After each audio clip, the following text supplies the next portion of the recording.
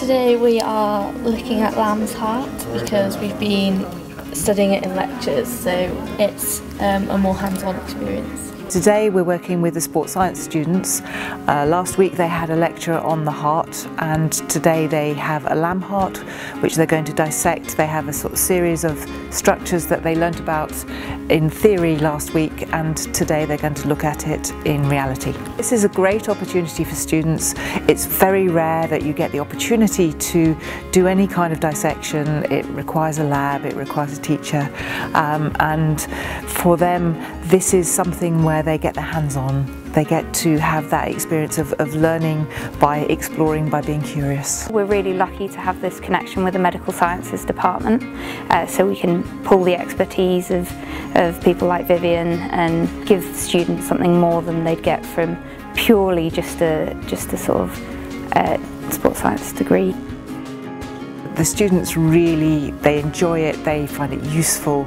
Um, every year that I've run this module, the predominant feedback from the students when they talk about the things that they like best, it was these hands-on experiences that they, that they have. At the moment it's cold because it's been frozen, but I thought it would be quite heavier than what it is and it's quite rubbery as well. I really like that, that we can just like figure it out ourselves, like cutting into it and see how an actual heart looks like. They've seen things in textbooks and they can see it on a page. But there's nothing like actually seeing it in front of you and, and also gets them to appreciate that things aren't as straightforward as they might seem in textbooks. So they have a much more rounded and uh, sort of understanding of it.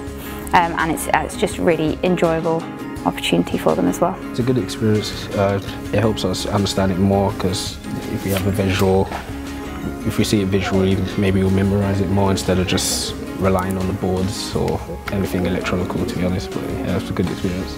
It gives you a better understanding of the anatomy because it's like you can actually see it. After I graduated I was planning to go into physiotherapy so I was learning about the heart like what's like the jobs around it like pumping blood around the injuries how it could influence uh, help fatigue and all that so it's a good experience to learn about the heart and different organs.